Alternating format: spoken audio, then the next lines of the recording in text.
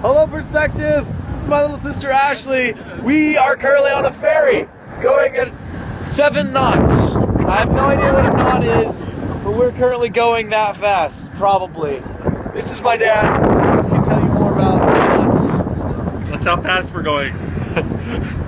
So, uh, yeah. So, yeah. Um, on a ferry. This is my first time riding a ferry. It's pretty exciting.